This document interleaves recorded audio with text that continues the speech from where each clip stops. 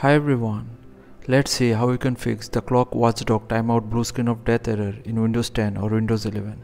To get started, simply go to your Windows settings, then go to Windows Update and check for updates. If there are any pending Windows updates, simply download and install them. In the next step, search for command prompt, right click over it and run it as administrator. Now type sfc space forward slash scan now and hit enter to execute it. Now wait for the process to finish. Once done, go to the video description and copy this command line from there.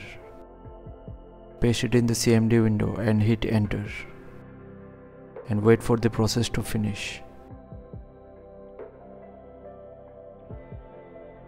Once completed, now type the next command chkdsk space forward slash f space forward slash r and hit enter.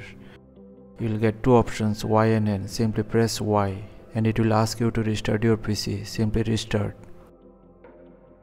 and you will get a similar screen. At this point, don't press any key on your keyboard and wait for the process to finish and wait for the Windows to boot up normally.